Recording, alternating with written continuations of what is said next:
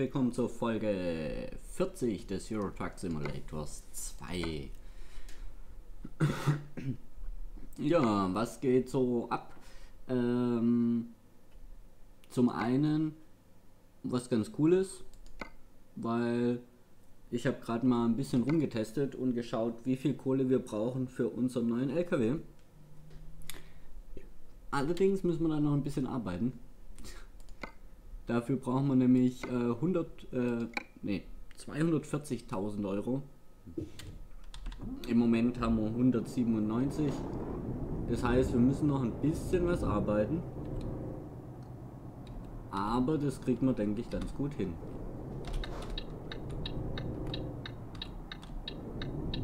Wenn wir keinen Blödsinn machen und äh, das gut durchziehen, dann sind wir in zwei Folgen soweit.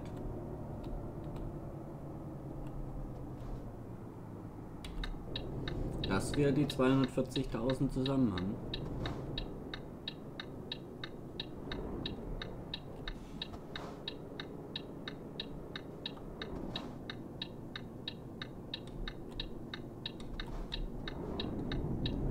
Jetzt müssen wir erstmal den nächsten Auftrag anfahren. Aber das ist ja alles wie immer kein Problem bei uns. Wir geben einmal ein bisschen Stoff. Hoffen, dass kein Blitzer hintergegen steht.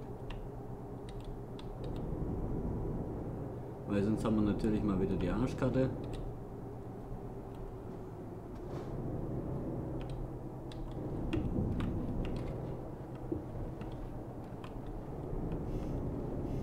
So. Was ich auch ganz cool finde, ist, ähm, in Europa sind ja die, die Warnzeichen vor scharfen Kurven immer weiß-rot. Ja? Aber in Schweden, was haben die da? Äh, hä? 44. Moment. Warum muss ich da so weit hinfahren zu dem Auftrag?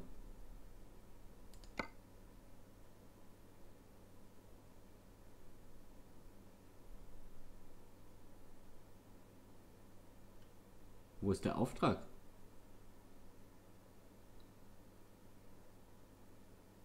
Hä? Was ist da los? Vor allem ist der Auftrag weg, den ich, den ich eigentlich hatte. Und da bin ich mal gespannt. Ähm, und in Schweden sind die Wandtafeln äh, gelb-blau. Finde ich ja einfach sehr cool. Mich irritiert es gerade. Wir fahren jetzt einfach mal zu dem Auftragsziel und dann gucken wir mal, was da los ist und weshalb wir da überhaupt hinfahren müssen.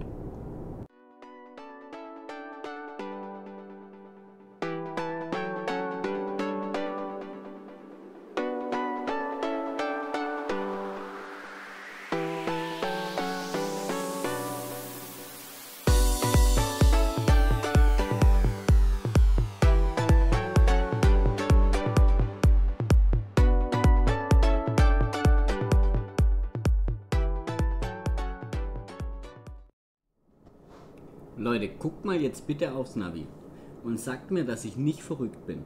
Das Navi schickt mich eindeutig die Straße weiter. Da war aber nichts. Mann, die haben mich voll verarscht. So, jetzt äh, Stockholm. Stockholm ist das Beste, was wir hier jetzt im Moment kriegen können. Äh, dann nehmen wir das. Eigentlich war da was anderes äh, veranschlagt, dass ich einen anderen Auftrag hätte fahren sollen.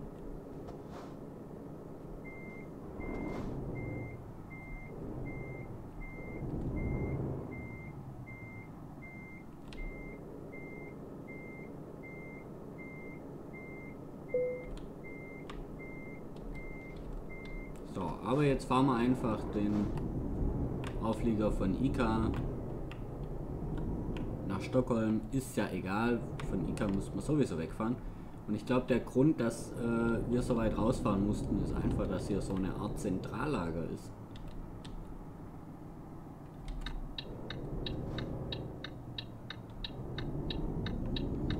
Und deshalb ähm, ja, war das ein bisschen so aufwendiger und ich habe mich natürlich gleich wieder verfahren.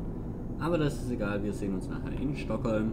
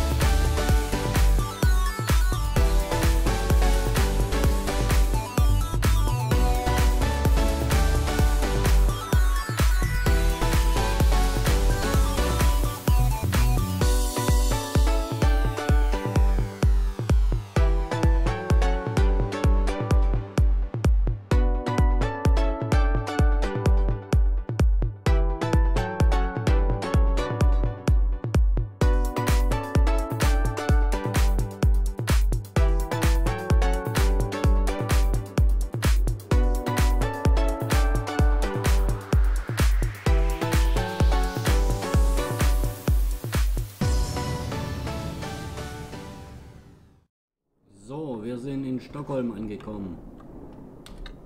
Es gab ein paar sehr geile Fotomotive auf dem Weg.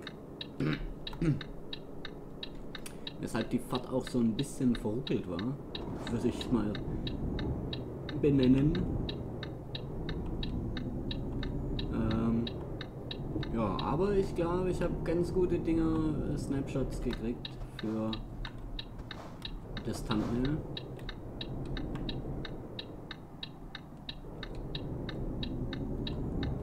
Und ja, das freut mich dann. Also der letzte war, glaube ich, der beste. Den werde ich vielleicht sogar nehmen. Auch dieses schwedische Dorf, das war ganz cool.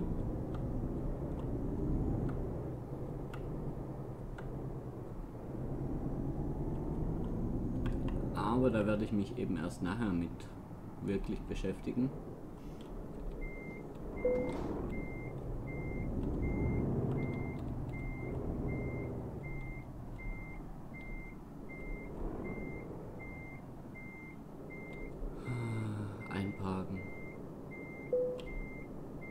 Ist natürlich immer mühselig, aber es gibt halt immer diese Extrapunkte, ja. Und die will ich mir nicht entgehen lassen. Deshalb nehme ich die auch. Äh, aha. Oh, nee, nicht schon wieder. Also, jetzt soll ich denselben Auflieger wieder zurückfahren. Ihr seid ja Helden.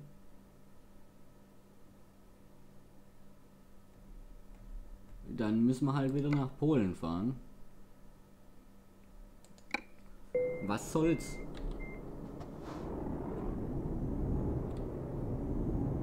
Oh, geiler Sonnenuntergang, Mann. Ist ja wirklich großartig.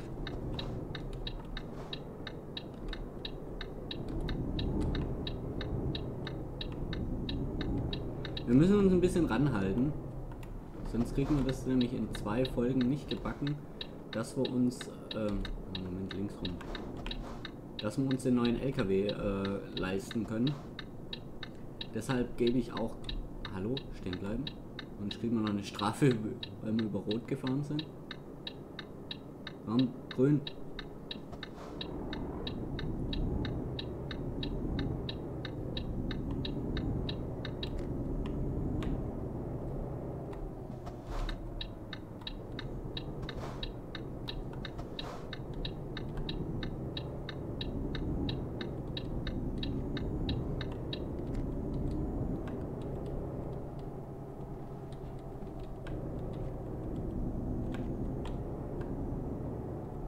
Müssen wir rein hier.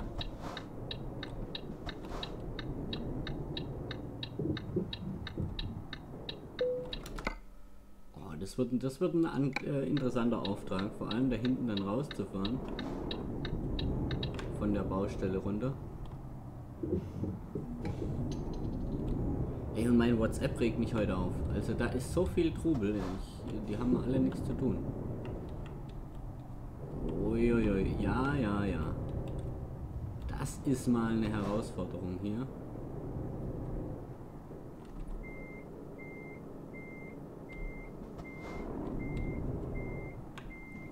Da steht schon einer und guckt mir blöde zu.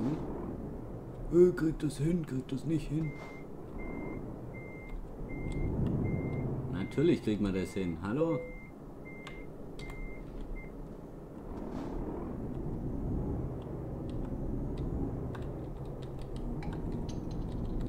So, also wir sind auf dem Weg nach... Wo geht's denn überhaupt hin? Olsztyn in Polen bis nachher.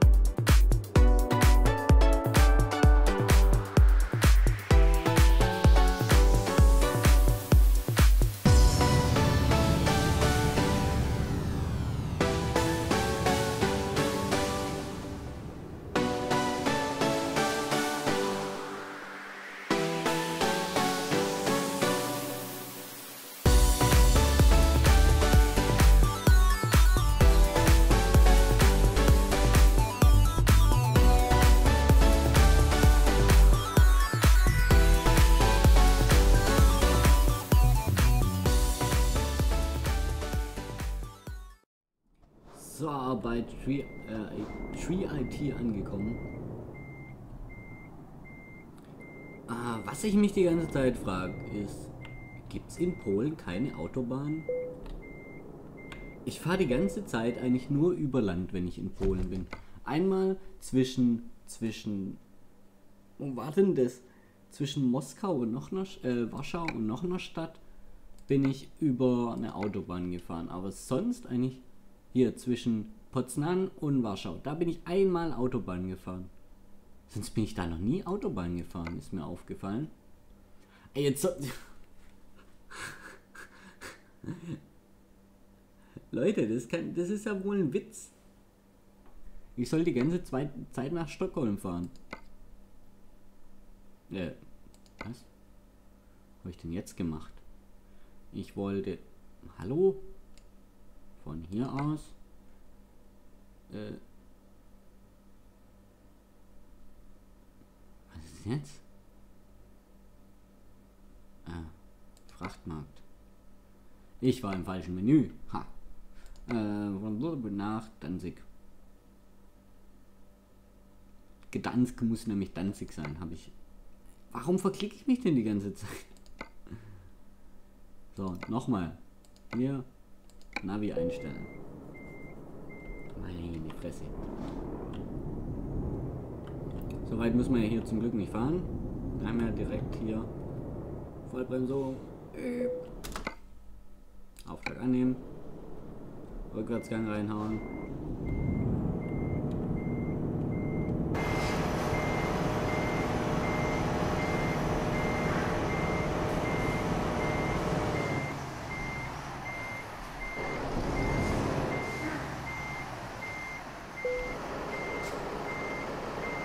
Hier müssen wir jetzt aufpassen, dass wir erstmal gerade rausziehen. Ja, sonst bleiben wir nämlich da gleich hängen.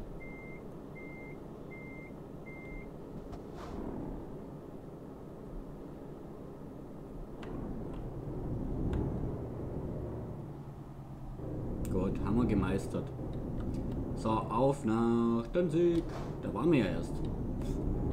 Müssen wir dieselbe, dieselbe Kackstrecke wieder, die wir gerade hergefahren sind, wieder zurückfahren. Bis nachher.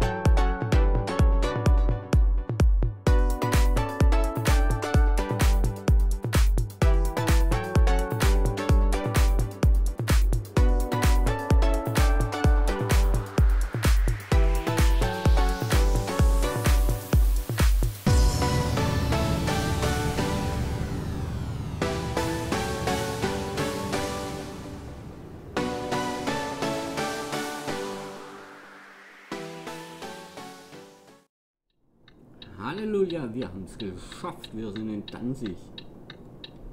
Ja, mir stellt sich immer noch die Frage, ob es in Polen keine Autobahn gibt. Ich bin zwar am Ende jetzt wieder ein kleines Stück Autobahn gefahren, aber das ist so wenig. Ich fahre eigentlich alles über Überland. Kaum mal irgendwie Autobahn. Und dann sind ja die Straßen auch so. Zickzack heu. Das ist ja auch noch mal so ein Ding, ja. Wenn es wenigstens so amerikanische Straßen wären. Bei denen es einfach nur geradeaus geht. Aber nee, die machen dann hier fünf Kurven, wenn es auch gerade gehen würde.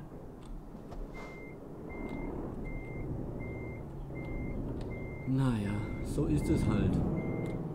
Wenn ihr es besser wisst, falls ihr mal in Polen wart, dann schreibt es mal in die Kommentare, falls es da Autobahnen gibt, weil ich bin nicht davon überzeugt. Aber äh, trotz allem sind wir unserem Ziel ein bisschen näher gekommen. Wir haben 219.000 Euro jetzt.